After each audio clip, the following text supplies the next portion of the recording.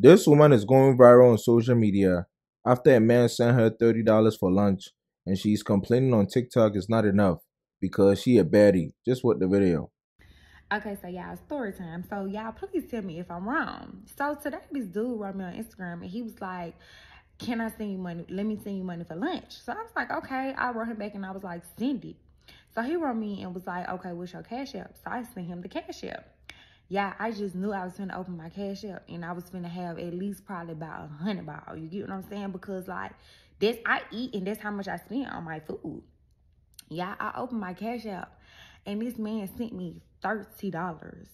Yeah, yes, thirty dollars. And I'm just like, at first I'm like, damn, like, am I ungrateful? Like, am I fucked up? Like, feeling like, like, why the fuck would you send me thirty dollars? But then I had to ask people, and they was like, nah, cause I'm like, thirty dollars is not even half a tank in my car. Like, what the fuck you thought I was gonna go to Chick-fil-A? Like, I mean, I'm trying to figure out what what did you think I was gonna eat? It's like when I go and eat, I eat full course meals. Like I order a appetizer, a entree, and a dessert and a drink. That can't even get me two drinks. Like, what the fuck? And then this man had the audacity to write me back and say, uh let me get to know you that I why the fuck do you think I'm gonna let you get to know me and you just send me thirty dollars for lunch?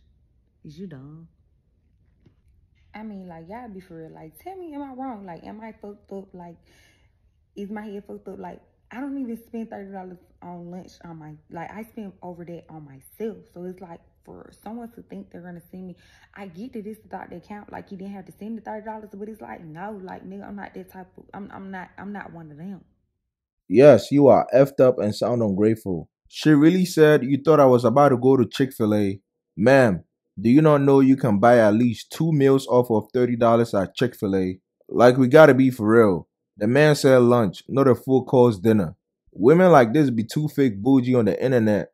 Whole time she's struggling in this economy just like the rest of us. They are too entitled and I don't blame them because it's us men that entertain this shit. But imagine thinking you did something nice for a woman and you go on TikTok and she is ranting about how ungrateful she is. This is why social media can be a source of reference. People just be yapping nonsense on there and leading these young people astray. Majority of this nonsense is always coming from us. Fellas, if these the batch of women y'all boys got to choose from, I feel so sorry for y'all because we have gotten to a point of no return. But y'all be safe out here though. Let me know what you think in the comments down below.